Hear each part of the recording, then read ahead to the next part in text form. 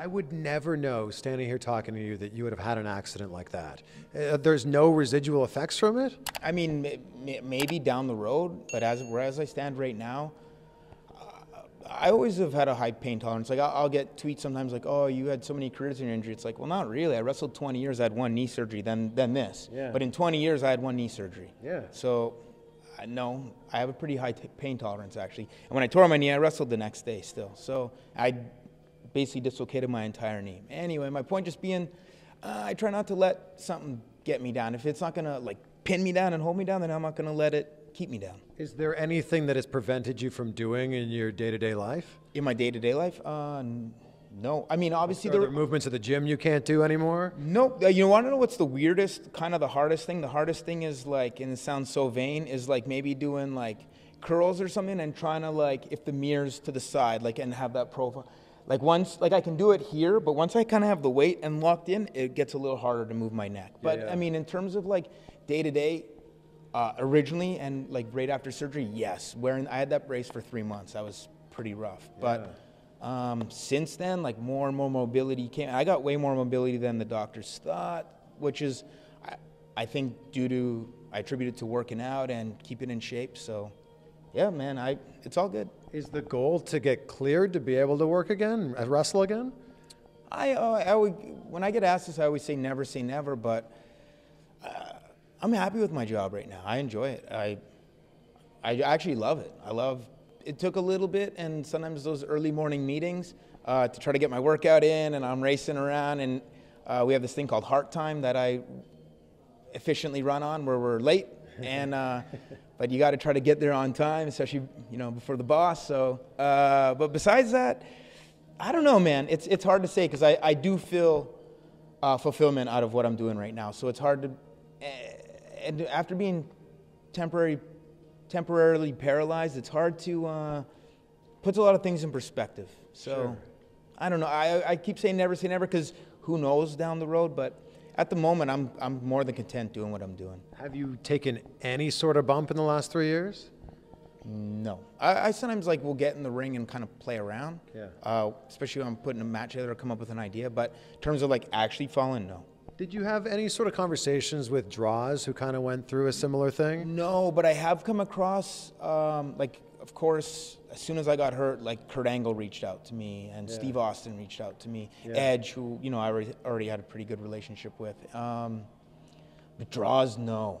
Uh, that would actually be a great person to talk to. Uh, and and then just like like I went to UFC and then um, I was in a green room and a, a guy in uh, in a wheelchair he asked me for a picture. Then we, he just asked what I had fused, and then we got into a big talk about how lucky I was to avoid being in the wheelchair with him, but also yeah. with the little breathing thing.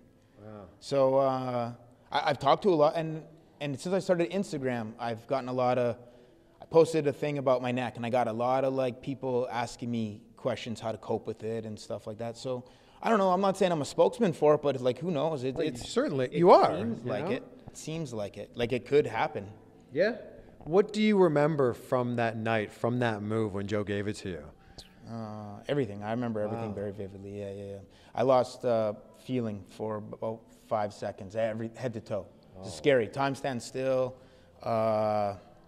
Dude, you just sit there like in no control whatsoever. It's not. It wasn't in my control. I was at a higher power. I was at somebody's mercy, just sitting there you can't move anything. All of a sudden, your body feels like it weighs like two million pounds. Wow. And those five seconds must have felt like five yeah, weeks. But in, there was some weird voice telling me this isn't permanent.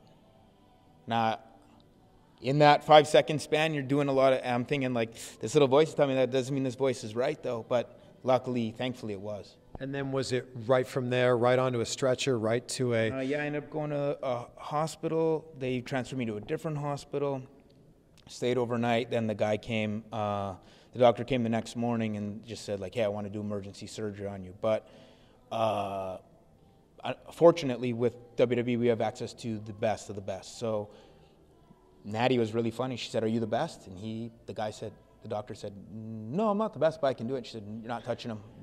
And uh, I got airlifted a few days later from San Antonio to Tampa. The best guy happened to be in Tampa, and the guy they thought was the best was actually a guy better than him that also was in Tampa. Now he's now he's in Arizona. And that's where you live, Tampa. Yeah, so that was easy for me. Except like it was one of those things when I was on the the the airlift. I knew I knew the answer. You, you ever have her like, you know the answer, so you don't really want to ask the question. I was like, I know I'm not going home, but in my mind I was like, oh, we're gonna land at Tampa Airport. I'm gonna go home, but I knew we were landing. I was going straight to Tampa General Hospital, which is where I went overnight again. Yeah. And then did Samoa Joe reach out to you? Oh yeah, he came to the hospital that first night uh, when I got hurt, and then we would uh, we would exchange texts all the time. And then he was one of the first guys I found when I came back uh, in Los Angeles uh, last June as a producer. He was I like sought him out. That I mean, wasn't hard to find him, but I found him, and we had a very good talk, and um, we get along well. It's, there's no animosity with but with me and Joe. It's interesting because of all the moves I feel like could break someone's neck, Muscle Buster would not be at the top of that list, in my opinion. I would think it'd be a pile driver or something like that. Just a just one of those things that happened. It was uh, it just a perfect storm of whatever it was, and then uh, when we hit, it just everything went. It's the whitest light I've ever seen in my life, and then. Uh, but yeah, we, we have no.